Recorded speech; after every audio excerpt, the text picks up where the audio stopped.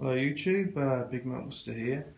Um, I'd like to show you today, uh, I've got a 2015 Henry Hoover and I believe it's a 1993 Numatic NV200. Let's just go check the back. There you go. Fortunately, yeah, the casing's missing on the back of here. This is a HVR 200 1 2. So,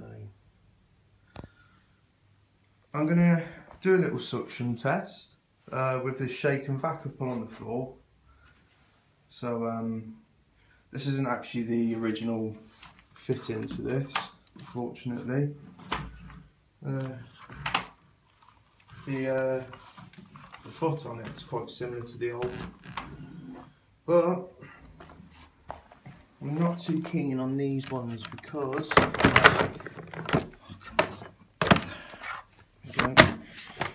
it's a plastic finish to the bottom.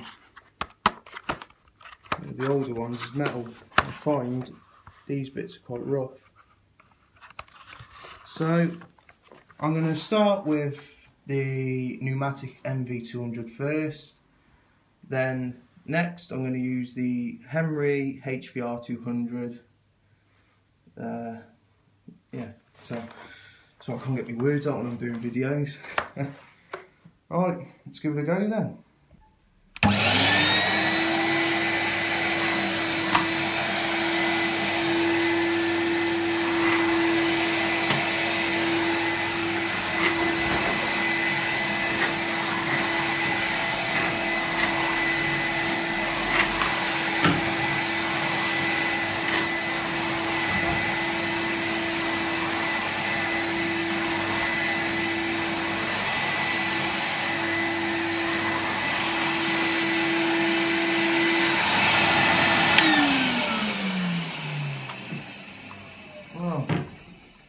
Struggling to pick up the shaking back a little bit, but what do you expect for a 22 year old Numatic?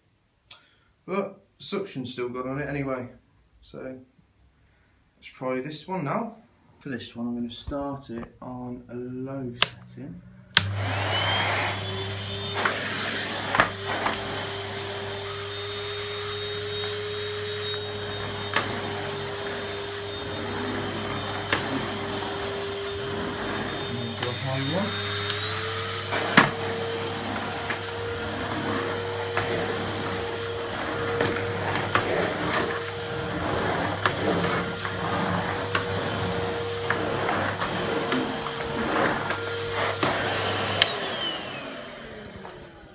So I think you can obviously see the two results. I mean, that side's clear, that side's still got some shake and vac.